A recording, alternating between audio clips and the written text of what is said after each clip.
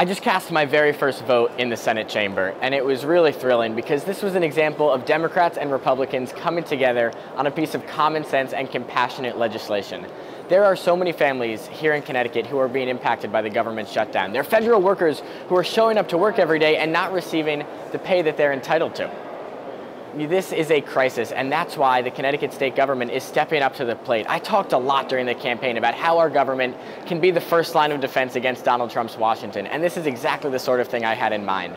A public-private partnership to make sure that our federal employees who are living in Connecticut are not treated as political bargaining chips.